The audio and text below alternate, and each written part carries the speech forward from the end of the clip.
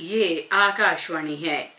अब आप लवली निगम से समाचार सुनिए।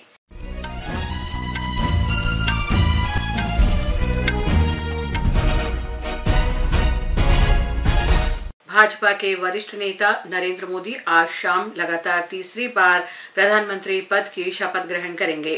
राष्ट्रपति द्रौपदी मुर्मू राष्ट्रपति भवन में नई मंत्री परिषद को भी पद और गोपनीयता की शपथ दिलाएँगी। आकाशवाणी से समारोह का आँखों देखा हाल शाम पौने सात बजे से आकाशवाणी गोल्ड और अतिरिक्त मीटरों पर प्रसारित किया जाएगा। समारोह में कई पड़ोसी देशों और हिंद महासागर क्षेत्र के कई नेताओं को आमंत्रित किया गया है।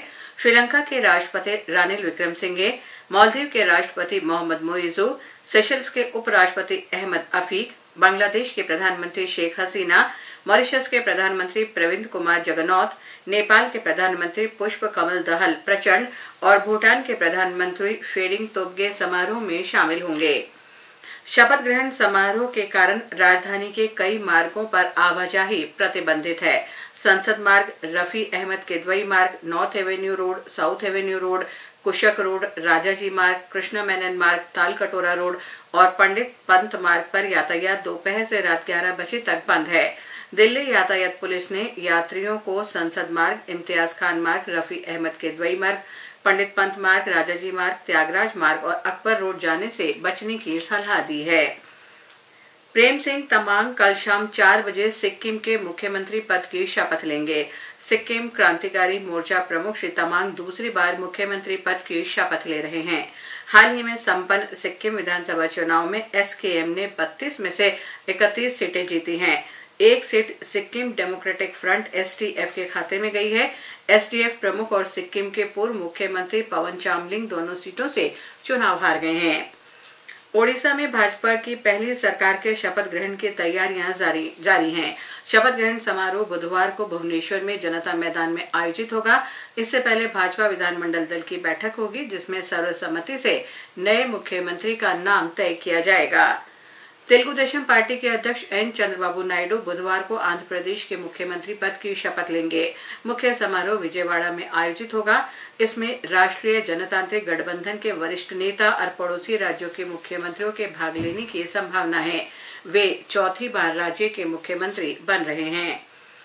शिक्षा मंत्रालय ने राष्ट्रीय चिकित्सा स्नातक प्रवेश परीक्षा नीट के 1500 से अधिक उम्मीदवारों को कृपांक दिए जाने की समीक्षा के लिए एक समिति का गठन किया है। राष्ट्रीय परीक्षा एजेंसी एनटीए के महानिदेशक सुबोध कुमार सिंह ने बताया कि पैनल की अध्यक्षता संघ लोक सेवा आयोग के पूर्व अध्यक्ष करेंगे। उत्तर प्रदेश सरकार पर्चा लीक मामलों से निपटने के लिए कानून बनाएगी। मुख्यमंत्री योगी आदित्यनाथ ने भर्ती आयोगों के प्रमुखों की बैठक में कहा कि पेपर लीक या सॉल्वर गैंग की गतिविधियाँ स्वीकार्य नहीं हैं। दिल्ली की जल मंत्री आतिशी ने पानी की कमी को लेकर उपराज्यपाल विनय कुमार सक्सेना से भेंट कर समय मांगा है। आतिशी ने बताया कि हरियाणा सरकार मुंबई नगर में, नहर में पर्याप्त पानी नहीं छोड़ रही है। उन्होंने कहा कि केंद्र सरकार के प्रतिनिधि श्री सक्सेना से मामले में हस्तक्षेप कर मुद्दे को सुलझाने का अनुरोध करेंगे। मीडिया जगत की जानी मानी हस्ती रामोजी राव का अंतिम संस्कार आज हैदराबाद में पूरे राजकीय सम्मान के साथ कर दिया गया।